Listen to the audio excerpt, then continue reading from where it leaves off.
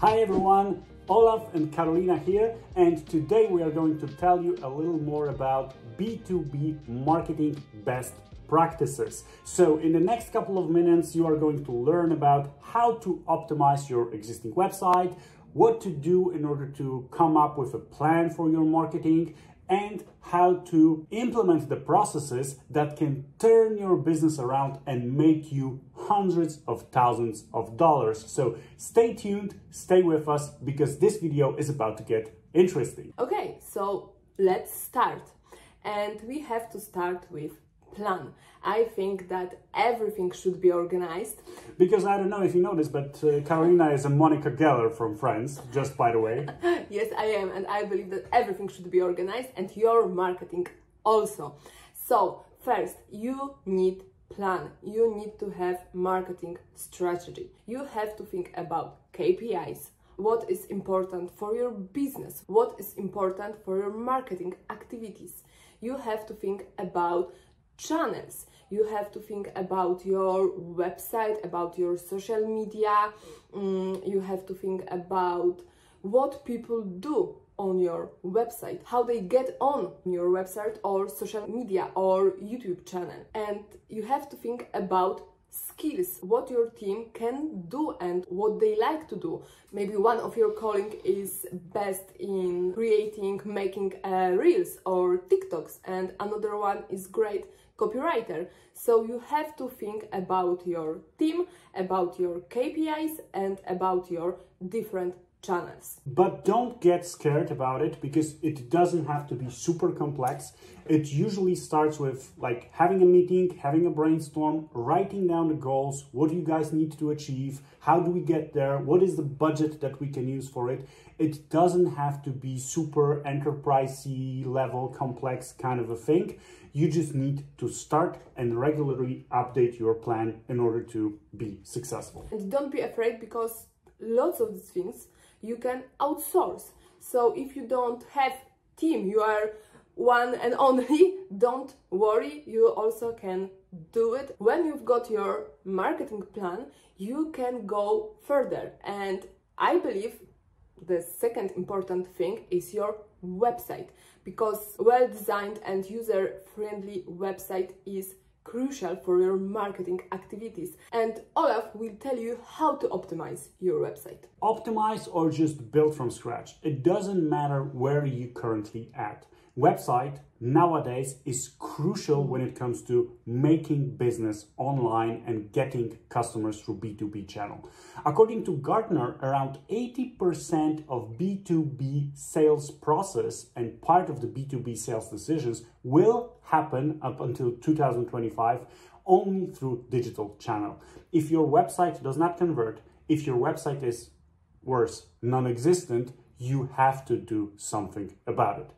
The efficient website should not only be the business card of your business, it should also be a conversion funnel for your customers. So if you want to build a good website or if you want to optimize the existing one, you should take a couple of things into account. First and foremost, your website should be SEO friendly, meaning that written content should position your website in all of the major search engines like Google or Bing in top spots. Of course, this is not easy to achieve, especially if you are just starting. But the truth is, you can find the sentences, you can find the keywords, and you can find a lot of the things that are niche and that will put you in this top five, top 10 spots in Google without the necessity of battling those enterprise level competitors. There are tools, uh, very useful tools to do keyword research. And I think we can tell you a little bit more about these tools in the next video. What do you think? Yeah, I agree. Yeah, that's that's super important topic, but also a broad one, so we don't have time for it today. The another thing that you can that you should actually take care about when it comes to your websites is analytics. And first and foremost, and Karina will agree, trust me, she's crazy about Google Analytics. Yes, I am. you should have Google Analytics properly implemented on your website. You should have goals for conversions. You should be able to discover the paths that your customer is traveling through your website because this will be one of the key points for you to optimize the content, where it's located, how it's positioned, and so on and so forth. And I think the, the most important thing is how your customers convert and from what piece of content the conversion is happening. This is super important. Another analytical tool that you can use is, for example, Hotjar or Crazy Egg or any other tool that you can use to view heat maps and observe users' behavior on your website. Where they click, what is the most engaging part of your website, what are the gaps and the things that you can optimize in order to improve their experience. These are all super important things, and those tools can help you monitor users' behavior and observe what you can do better in order to improve their experiences and therefore improve your conversions. And the last thing that is mostly overlooked by a lot of people on your website is to ask your visitors, ask them the questions. How did you get here? What are the things that are most important for you? What are you looking for on our website? These can be gold mines for your business and for you as an entrepreneur to discover the topics that you should be telling more about, or maybe even products that you currently do not have in your portfolio, but you can add in order to make more money and grow your business. So before we jump to the next topic, if you are finding this video interesting, Please subscribe. Exactly. This will help us grow the channel and also reach more people like you that need help with their B2B marketing. Another topic that Karina will tell you a little more about is a lead magnet. It's not enough to simply present your product and service and hope for the best. You need to have something that attracts your potential customers, and this is lead magnet. This can be an ebook, free online video course, or webinar, or any other piece of content that's both valuable for your audience and related to your product or service. You offer lead magnet to attract your potential customers in exchange of their email addresses. So, why do you need a lead magnet? First, and for me, the most important thing is that you can build your email list and you can use this email list for sending newsletters, information about promotions, about Invite people to webinars. yeah. Yes, exactly.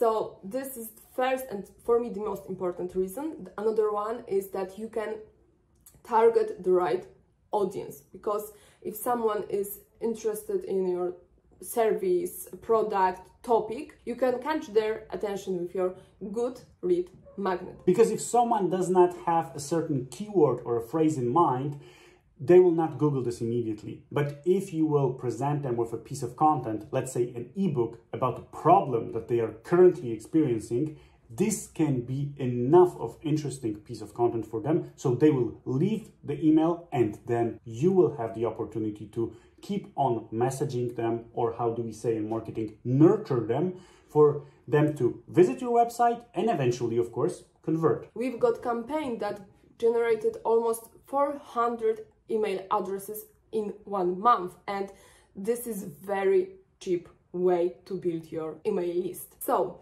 you've got your plan, you optimize your website, you've got lead magnet, but you need to have processes because without processes everything can be mess and chaos. As Olaf said, I'm Monica Geller and I hate chaos. That's so true. That's so true about Monica Geller, but it's also true about processes.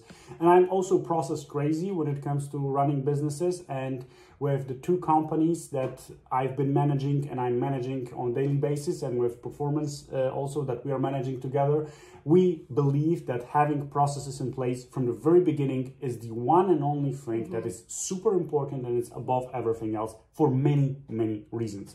First and foremost, if you are working with a lot of freelancers, which in our opinion Yeah. is a smart and cheap way to do a lot of things around marketing, if you don't have enough of a budget, then onboarding a next freelancer, onboarding a next person can be a very cumbersome task. In order to save time, you can just have written down process that will enable you to onboard these people very, very quickly. And same goes, of course, for the new hires in marketing department. Another thing that is super important in order to be consistent with your marketing efforts is to have a media plan.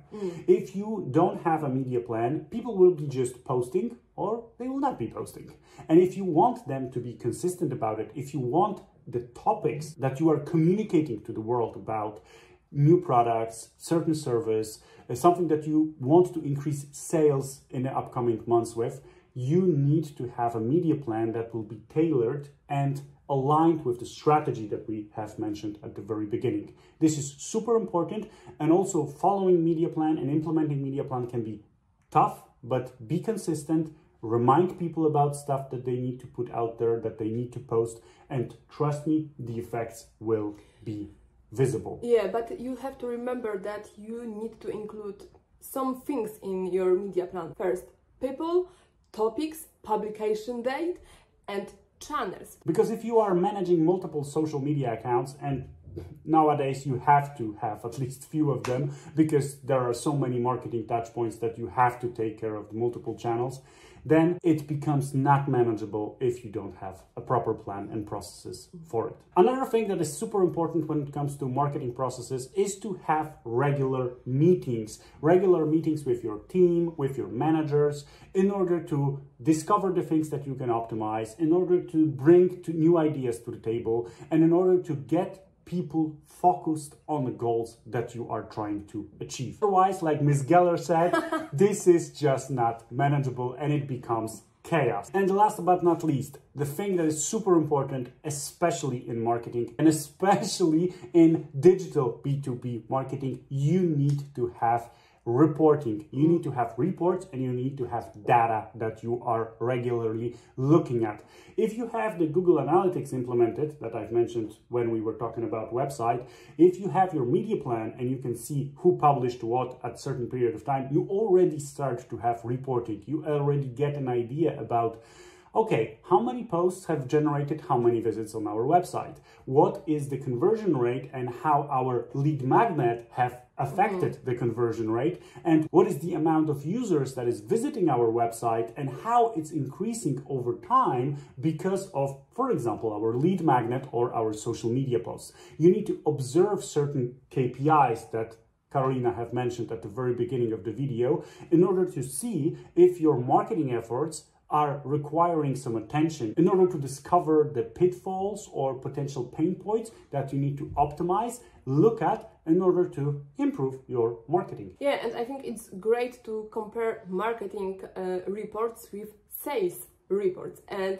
see how they match together. Exactly, because if your marketing is generating enough leads, you also need to see and take care of what's coming up next. But this is also a topic yeah. for another exactly. video about how to manage the, the B2B sales and about how to take a proper care of leads in order to improve the conversion, in order to maximize the conversion and eventually, of course, make you more money for your business. So I think that's all when it comes to yeah. processes. Okay, I think that's all for today's video, but we need to sum up some things. First, you need to have plan. You need to have a marketing strategy. Then you have to optimize your website. When you've got these two things, you can think about lead magnet. How to create lead magnet for whom and what it can be. When you've got these things, you need to have processes for everything because without processes is a mess, big, huge mess. If you find this video interesting, please subscribe our Performance Digital channel. Give us a thumbs up and if you have any questions whatsoever about either B2B marketing or B2B sales, ask them in a comment section down below. We are also dropping some useful links below the video in the description. Please check out our website and, you know, let us know if we can help anyhow. So, thanks for watching. And have a great day.